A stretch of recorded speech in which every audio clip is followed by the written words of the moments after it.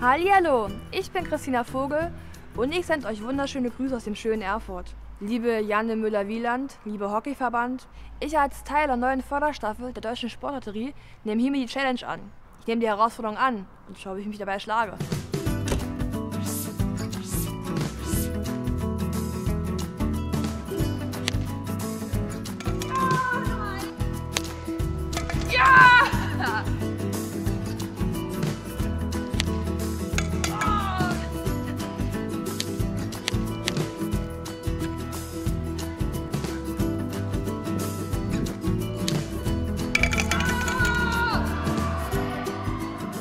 Und nun reichen Staffelstab unseren Taekwondola Tahir Gülec weiter.